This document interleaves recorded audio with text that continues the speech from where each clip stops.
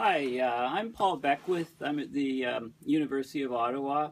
In the last several days, I've produced a few videos, one on Arctic uh, sea ice decline, where we're heading uh, for the rest of the melt season until the uh, minimum sea ice extent is reached in uh, mid-September, and also on why the, um, I had a preliminary look on why the northern Pacific Ocean is so warm um, and of course, that warm water um, has been around for a, a long period of time. Um, it's basically resulting in the California drought. Um, more recently, uh, the warm water has extended over to Japan and it's causing uh, massive heat waves with high humidity there, you know, and many fatalities and so on.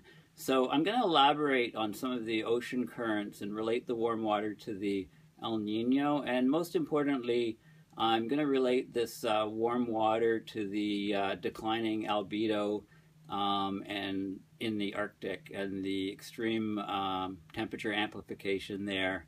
And unfortunately, um, it looks like this warm water is, is a new state, um, and I don't see the uh, California drought uh, ending as a result of that.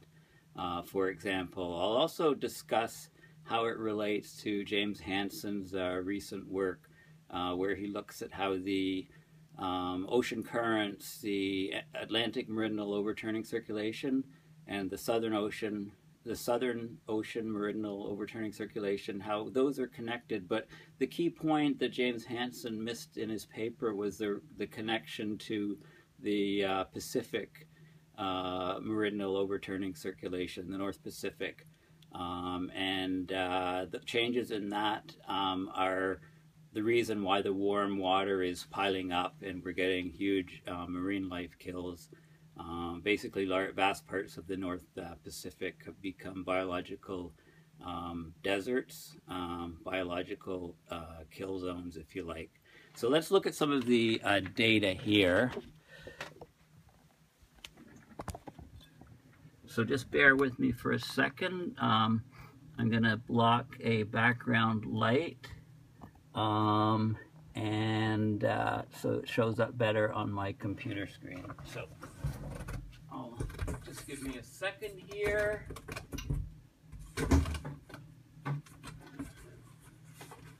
Okay, that should be much better, much darker on the screen.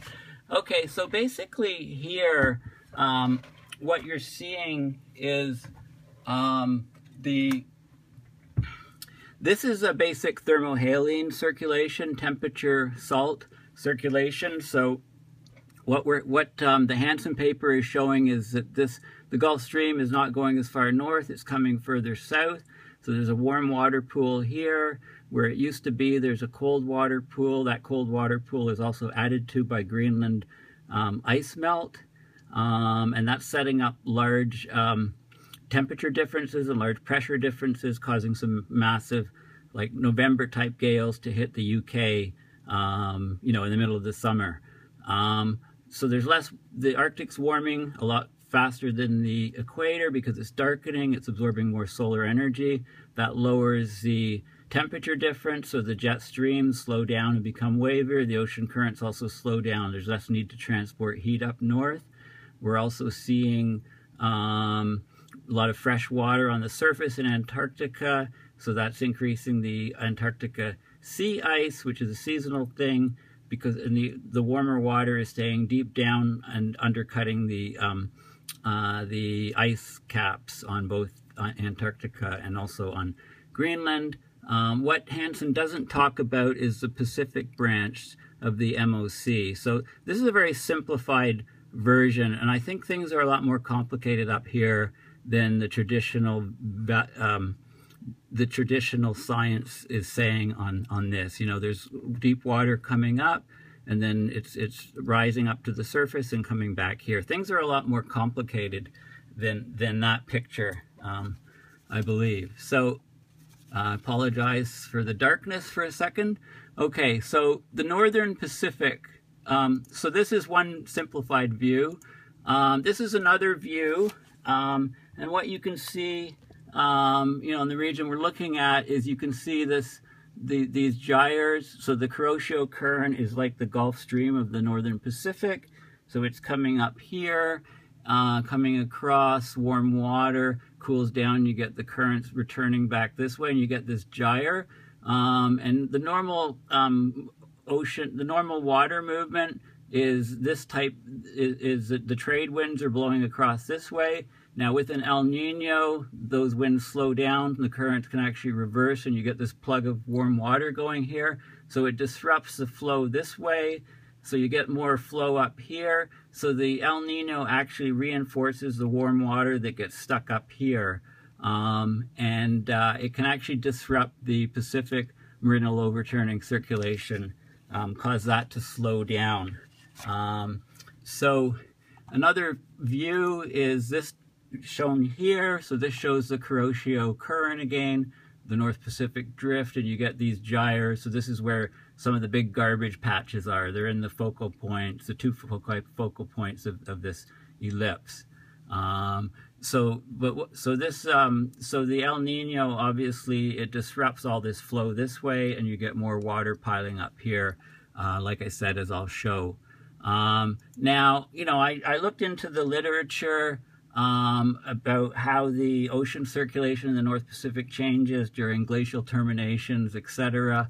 There's still a lot of uh, learning um, going on here, uh, but the, the key point from these papers is that, um, uh, you know, a lot of them are old, right? They're seven years old, um, eight, year, eight, ten years old, you know, um, this slowdown of the meridional overturning circulation, don't remember the date on this one, it's 2002. So we're talking about 13 years old here.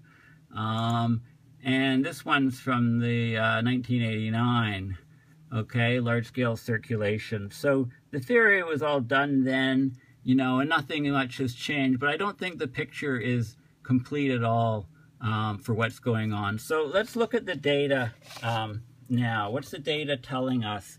Um, so here's the, um, the global view. And what we see is you've got very warm temperatures here, okay, in these regions. This is from the El Nino, and water seems to be directed up to here and here. The Kuroshio current is not going as far north, it's coming here. If there is, in fact, uh, upwelling water, it would be in this region or this region or, or um, cause, because that would be colder water. But we're getting these massive temperature anomalies. Uh, like, look, this is a vast region that's, uh, you know, up to four degrees warmer than normal. So these are temperature anomalies. Now, in the Atlantic, I said the Gulf Stream is not moving as far north. It's cutting across here. So this water is warmer than normal. Um, it used to go up here, but it's no longer doing that. This water is much colder than normal. Um, if I look here at what the jet streams are doing, um, you can actually relate some of these um, undulations here to where the jet stream is.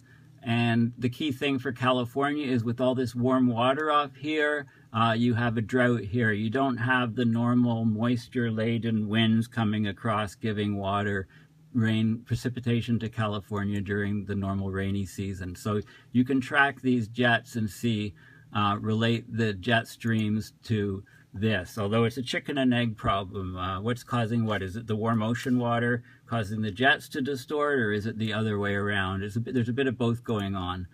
Um, one thing I did look at is sea surface salinity, and you can see that there's no real change. There, there, there's not a much higher sea surface salinity um, in this region, this really cold region, coming back to here um, the salinity there. So this is not fresher water or anything, which means it's not maybe mostly derived from the from from uh, glacier melt in Greenland, and also it's further away. Why wouldn't the colder water be here? It's more that the jet stream has is not going there when it used to. Um, so that's the sea surface salinity. And if I look at sea surface height, um, you can see that the cold areas, of course, have a lower sea surface height. This is in centimeters, so it's about a meter lower, a meter or more lower um, the ocean surface, 1.2 meters here, and it's elevated here. So think of a bit of a waterfall through the Arctic. The water will flow through the Bering Strait, and the water will exit in these regions. Um, this is one of the reasons why this area is getting so much melt because you're getting an influx of warm water uh, through the Bering Strait. Um, so now let's have a look at the, this is a global view again showing the, uh, this is uh, August 5th of this year and you can see this, this is a warm pool of water that is nailing Japan right now. Um, this is the persistent uh, uh, you know, some terms for this are the Northern Pacific Blob, the ridiculously really resilient ridge, but let's look into more detail as, as to what's actually um, causing that right now. Um, and um, clearly, um, this is going to have to be part one of uh, two parts um, because I'm, I'll be right, I'll, I'll need an extra um, you know, I, I, I, like to, I don't like these videos to be too long. So, um, so this is a type of uh, situation that we're seeing, but also notice here. So notice this pattern, you know, of where the warm water is, El Nino, a pulse here, you know, um, and, and one here, also warm water over here, and then warm water here. Now this, is the very cold water. Which, and Hansen did talk about the cold water up here and, and near Antar Antarctica. But the key thing I've noticed is that the cold water here is correlated very strongly with the warm water here. Now this is my analysis. This is completely, this is unpublished. I've, I've just really studied this in the last few days and noticed these some observations here. So what I'll end up um, I want to show you one more thing. So let's look at a movie. So this is a year ago, and this is a this is the average over a week um, a year ago. And then let's play this movie and see what happens. So you can see the warm water here is a persistent feature, although you don't have really cold water here. You have warm water here. Um, and we'll just play this now.